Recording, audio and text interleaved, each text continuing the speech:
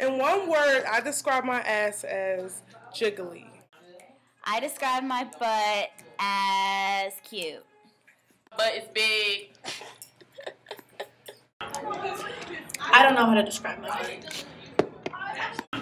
I describe my butt as small. I just I describe my butt as juice.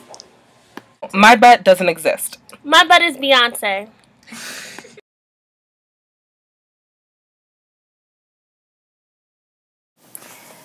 The gluteus maximus has many names which range from words like ass, fanny, romp, derriere, tail, rear, and backside.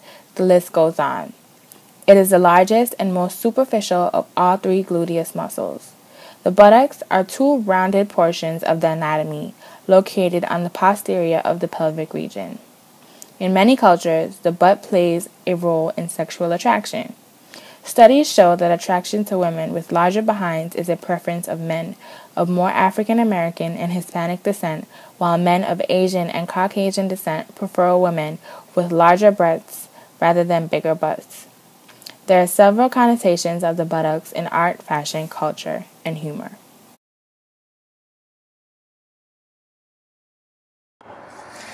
Having a big butt isn't always fun. Sometimes it's better than others. But sometimes I wish I could trade my butt for a small one. People judge me and make assumptions about the person that I am simply because my butt is bigger. I can't go to the beach and wear bathing suits or short skirts because people assume that I'm begging for their attention. I'm not, I'm just trying to be a regular teenager. He says that I'm beautiful, but I always find him staring at my butt. He says that I have a great smile, but I always find him staring at my butt. He says that he loves my personality, but I always find him staring at my butt. So is it my butt or is it me? Do you think we are separate? Because I don't understand why you think my face is on my butt. You know, nowadays, I think girls with big butts are really winning when it comes to men because it doesn't matter how pretty you are, it doesn't matter how intelligent you are, it just doesn't matter because as long as you have a little butt and there's another girl out there that has a bigger butt than you, they're gonna look at their ass regardless.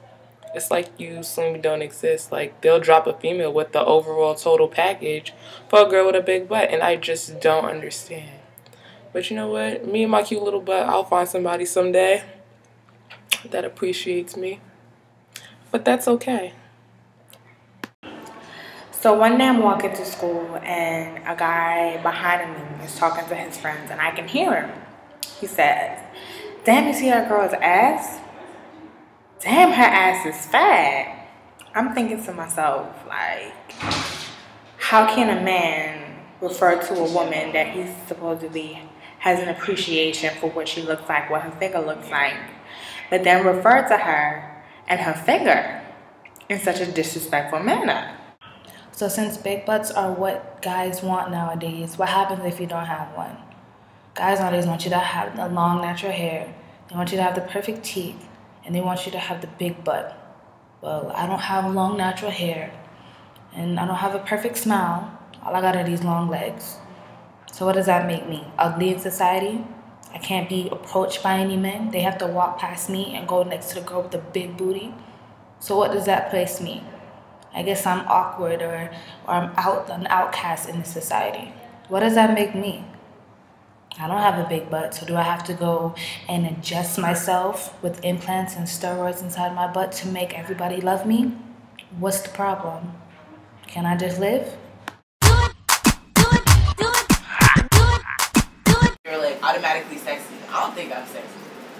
I didn't ask for this, but it's genetic. It's not like I worked out and I got it. Like it was just my family was blessed with a bigger butt. So would you rather have a small butt? Why not? That's also the other thing. That's I'm I'm gonna say yeah. I wouldn't rather have a small butt because I really honestly wouldn't know how to like. I wasn't blessed with the biggest boobs, and you know, you just I feel like it's either you got boobs and you got butt.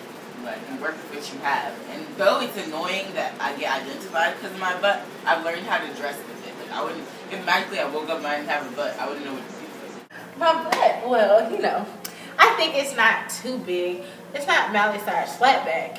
It's just close to the average butt, you know, for a black woman. Do you feel challenged being here at Spelman with other girls walking around with big butts or small butts even? No, because I have everything else to make up for it. The beauty, brains, you know.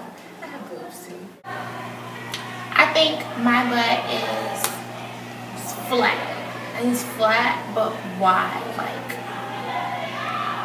how to explain it. It's wide, but it has no stick out edge. It's wide and flat. Okay. How do you feel? Do you think that you compete with some of these girls here at Spelman because you don't have what they have?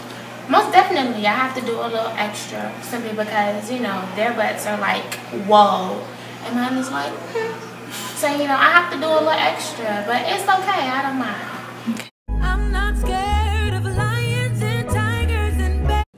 Um, one of the dangers of having a big butt is mostly partly clothes because you have to buy clothes that um, are specially tailored to fit you. And most people, most people are they're either made to fit like really small, short people with no ass.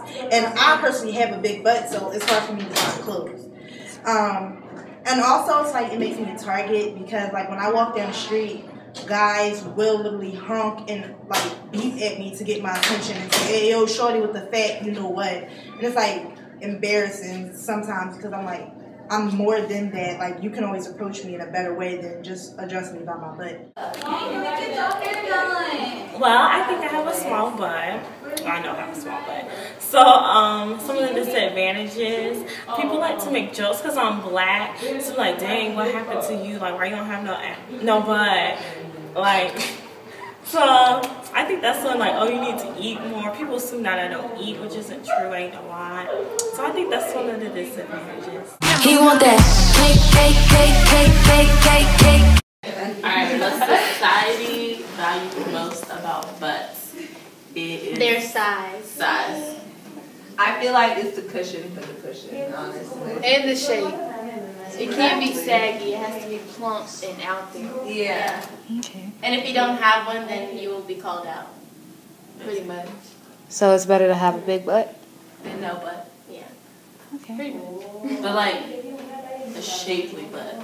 Yeah. Not just like Not a saggy. Like a toned, like, you know. An in shape butt. There It has to like cup. You know what I'm saying? Yeah, Like, be able to- to go like that. Um, I would just Beyonce because she's beautiful and she's so talented.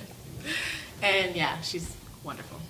And I do think people like her better because of her body and her butt. Because if she did like I s- like seeing her in person and stuff like that, like on stage and stuff, it's like phenomenal. Like it's amazing.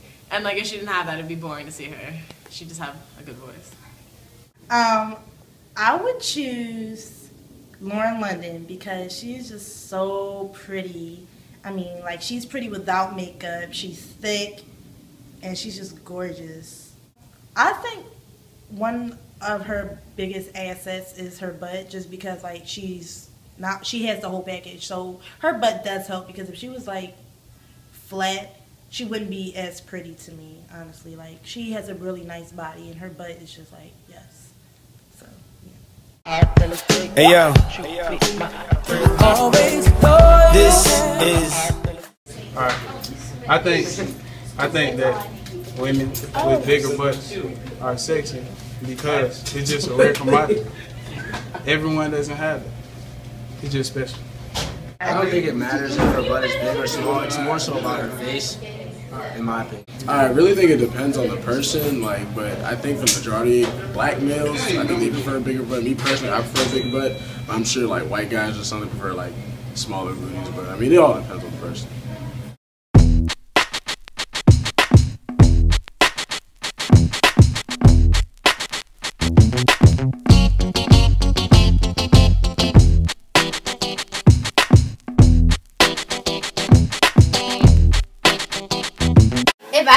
Describe my butt in one word, I would say that it's perfect. Go, go, go